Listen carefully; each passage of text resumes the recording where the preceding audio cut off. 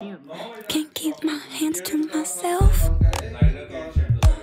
No matter how hard I'm trying to, I want you all to myself. Your metaphorical gin and juice.